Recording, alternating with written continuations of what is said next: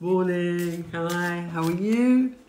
Got Archangel Metatron joining us this morning, and he's suggesting a few things to us. So let's get right down into it, shall we? That's the one I pulled. Look at that. You see that? Ooh. You're, this is a reminder that you are a beacon of light. Master number 44 is linked to the angels and, and to you as you are an earth angel too. Look at that. Did you know you're an earth angel?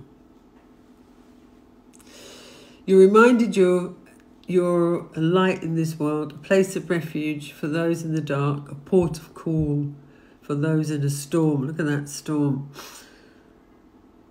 So just be easy on yourself today. Just be